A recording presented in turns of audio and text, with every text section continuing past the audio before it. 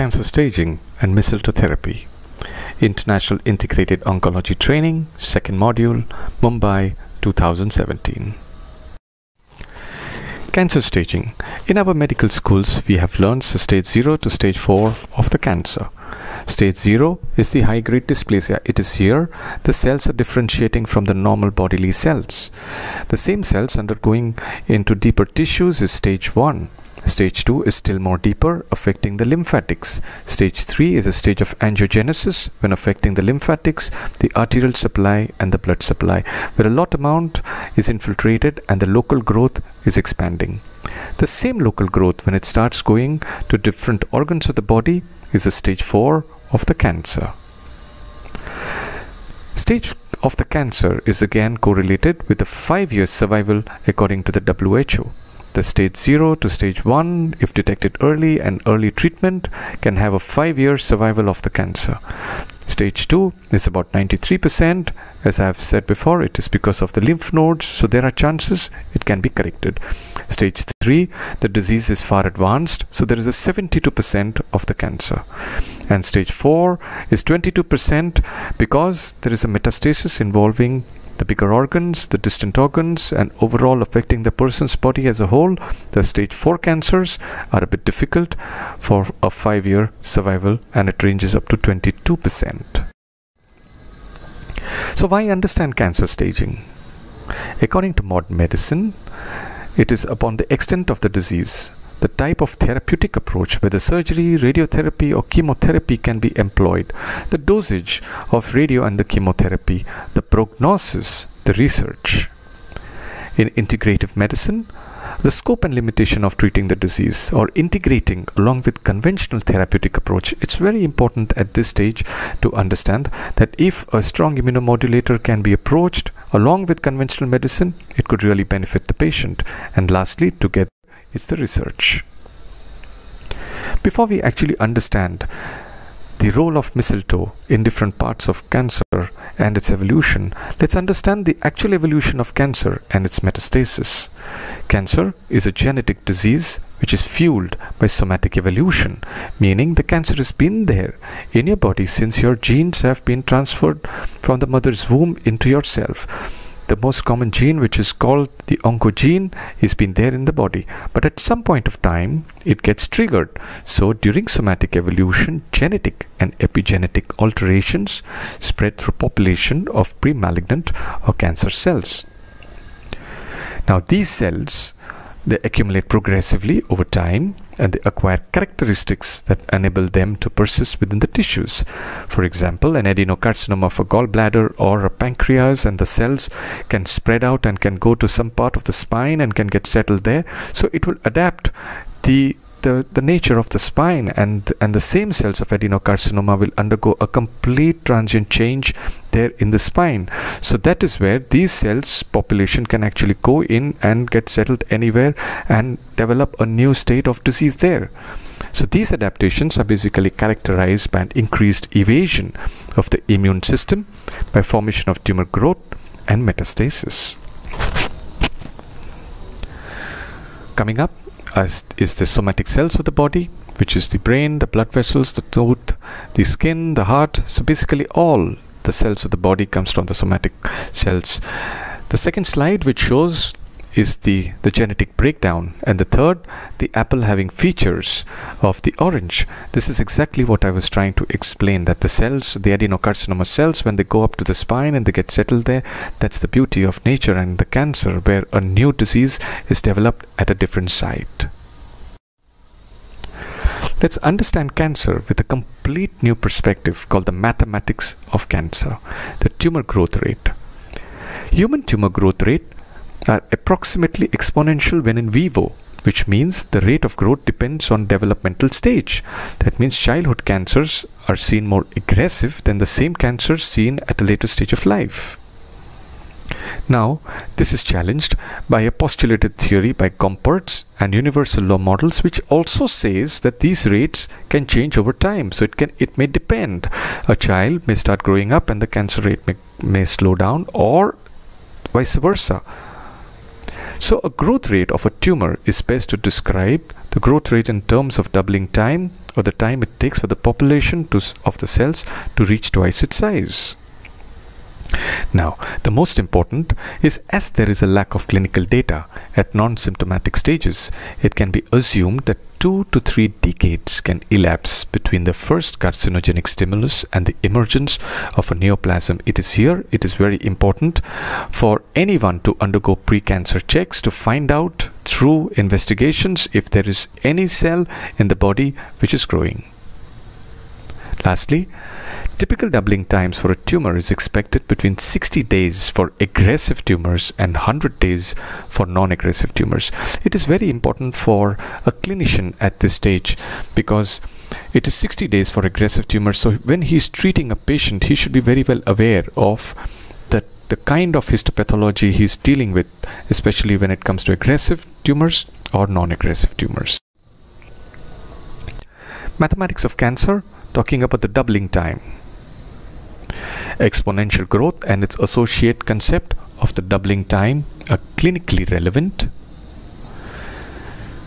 Therapeutically response human cancers such as a testicular cancer, choriocarcinoma have a doubling time which is probably more than one month. But something like a squamous cell carcinoma of the head and neck region the cancer may develop or may start spreading in the next two months. Similarly, an adenocarcinoma has a period of about three months. So you have to be very cautious when dealing with these kind of cancers, especially when it comes to squamous cell carcinomas of the head and neck region, where you know in two months you have to show enough results, or an adenocarcinoma of the colon or gallbladder or pancreas, that three months is a time when enough can be shown. Mathematics of cancer talking about the tumor volume and metastasis. A 1 centimeter spherical tumor contains a volume of slightly over 0.5 cubic centimeter which says that it has about 10 raised to 5 to 10 raised to 7 cancer cells. Now this is about 1 centimeter spherical tumor having 10 raised to 5 to 10 raised to cancer cell and because of which it has a great chance of a metastatic spread.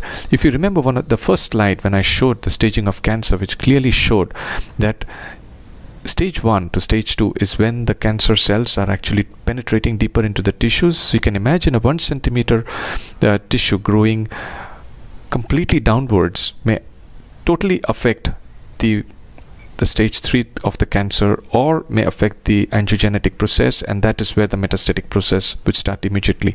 So any tumor which is about 1 centimeter has to be dealt with complete caution Immunity and staging of cancer. Now, one of the most recent advances in immunotherapy has become one of the most promising goals of cancer treatments in modern medicine. And CD8 as well as the T cell mediated cytotoxicity have actually been the beneficial effects of immunotherapy. Periodic immunotherapy, something like mistletoe therapy, they resolve the tumor aggressiveness by, by these immunotherapies you may not be able to dissolve a tumor completely but at least you can slow the aggressiveness which it has. You know and by slowing this aggressiveness you can give a good quality of life or a prolongevity of life in these patients.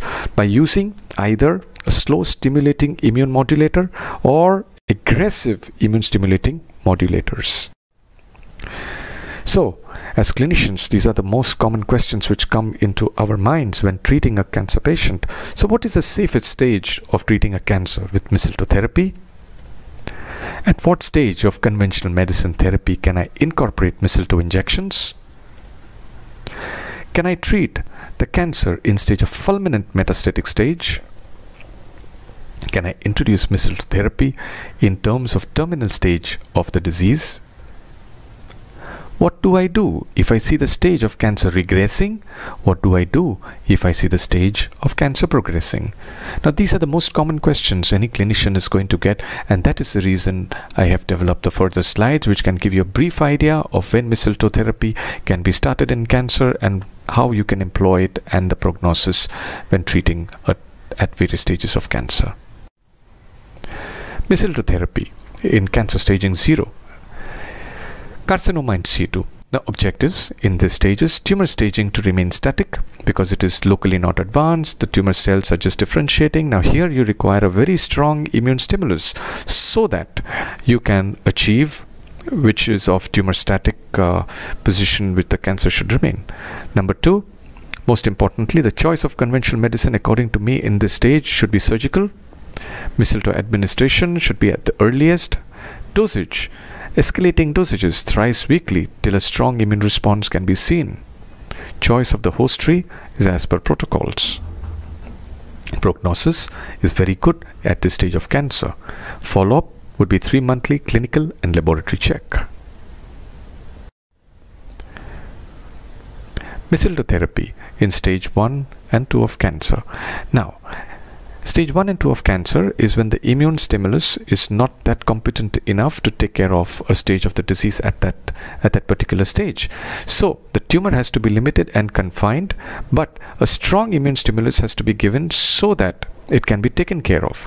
Now at this stage, the patient may be undergoing radiotherapy and chemotherapy, so minimum, minimizing side effects of radio and chemotherapy. Most importantly, initiation of fever and help maintain a good immunity in this state. Choice of conventional medicine, according to me at this stage, would be surgery, radiotherapy, and chemotherapy. Mistletoe administration, very importantly, has to be started pre-surgery radio or chemotherapy given during these protocols and post-conventional medicine protocols advantage is that the immune stimulus is so very well taken care of that these patients would have a good blood parameter so that they can complete any form of conventional medicine protocols and and patient can be free of the disease at the earliest. Dosages about thrice weekly escalating dose till a good immune response. Fever choice of host tree as per protocols. Follow-up is three monthly. Now, as I've talked about the choice of host tree, as you know, mistletoe grows on different host trees, so it is very important for the clinician to evaluate what kind of a preparation would he like to use, either Helixor or Iscador or something like Abnoba. So it is upon the physician to decide what kind of a preparation he would like to use. And secondly, the host tree can be used as per the protocols suggested prognosis in such cases would be good. Mistletoe therapy in stage 3 cancer. Now, stage 3 cancer is a very delicate stage of cancer because it is here the spread has just begun and there are all chances that there are metastatic uh, spreads which are going to happen at any given point of time. So here a good strong and a favorable immune response. So much so that a fever has to be seen during this stage. Fever again has to be differentiated according to pathological fever or according to the physiological fever which has to be very clearly understood by the clinician giving the therapy. Now here again minimizing side effects of radio and chemotherapy. Choice of conventional medicine here would be surgical, radiotherapy, and chemotherapy. Mistletoe administrations to be started earliest during pre, during, and post conventional medicine protocols. Dosage thrice weekly, escalating dose till a good immune response is seen. Fever choice of host tree as protocols and after some times changing the host tree yes it's a very important uh, choice where it is the clinician who decides if the patient here is at a state where he is not showing a good immune response because stage 3 is a very critical stage and the, and there are all chances of the spread. So a, a change of the host tree can be suggested during the course of treatment. Follow-up could be monthly and prognosis is good to moderate. Mistletoe in cancer staging 4 uh, stage 4 basically challenges all possible therapies and one of the main objectives are the tumor related symptoms. It is in this phase where there are few symptoms which can be quite annoying to the patient. That number one is the pain sleep appetite and overall general well-being. Stimulate favorable immune response not too strong causing discomfort to the patient. Meaning Immune stimulus has to be given in such a way so that it does not cause discomfort in terms of pain, does not disturb the sleep rhythm of the patient, does not disturb the appetite of the patient, but in the end takes care of the general well-being of the patient. Choice of conventional medicine would be palliative, radio or chemotherapy only if required. Mistletoe therapy is after evaluation of the metastasis and the primary growth size choice of host tree again as per protocols but change of host tree now here again if the patient is not comfortable with a particular uh, mistletoe series or a particular mistletoe preparation change of the complete preparation or change of the complete host tree would be completely advisable in order to improve quality of life in these patients. Dosages twice weekly or maybe three times weekly. It depends again on the clinician administering and the patient as a recipient telling the physician as to how he or she is feeling, escalating the dose till, very importantly, the symptomatic response seen in these patients. Now here the follow-up would be a daily evaluation. It is very important that post mistletoe therapy there is a reduction of the painkiller, the sleep rhythm has improved, patient has started to eat well, patient has started to become more mobilized. So it depends upon all the dosages and how the patient is responding. So daily evaluation in such cases is very important. Prognosis is poor to moderate. Summarizing Design your protocol clearly with different stage of cancer. Use immune modulation judiciously. Change of mistletoe series and dosages according to various stages and according to your clinical judgment.